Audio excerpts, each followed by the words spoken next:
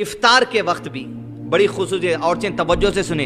इफ्तार के वक्त लोगों को अल्लाह ताला जहन्नम से आज़ाद करते हैं। सईब ने माजा तेरह सौ बत्तीस।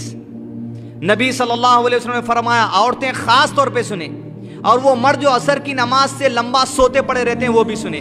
नबी सल्लल्लाहु अलैहि वसल्लम ने फरमाया, बिला शुबा अल्लाह ताला हर रोज इफ्तार के वक्त लोगों को जहन्नम से आज़ाद करते हैं और ऐसा अल्लाह ताला हर रात को करते हैं। चार बजे चूल्हे में घुस रहे।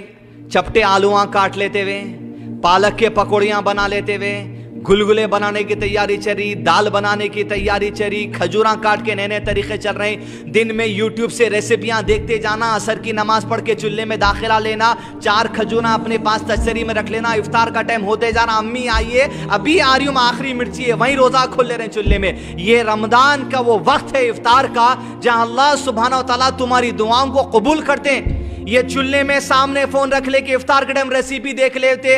हलीम के घोटे मार ले थोड़ी और ने गली। इनके फरमाइशा, बेटे को दही बड़े होना, माश के, अब्बा को जो सो बेसन के भजिए होना। ये सब फरमाइशा चार बजे के अंदर कर लेना।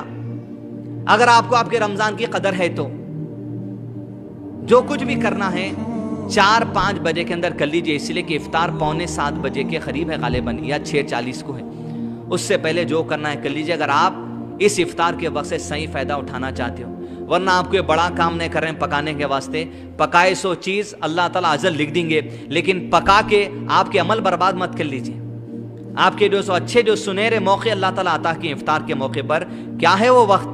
कि अल्लाह ताला हर रोज़ इफ्तार के वक्त लोगों को जहन्नम से आज़ाद करते हैं। लिहाजा जो सो इस चीज़ का कदर करें खातन भी, मर्द हजरात भी ऐसी फरमाइशों की फेरिस ना बनाए, तुम कल ये बना दो दो तुम कल वो बना दो तो ऐसा नहीं। लिहाजा आप भी इनका ख्याल रखें औरतें खुद भी अपना ख्याल रखें।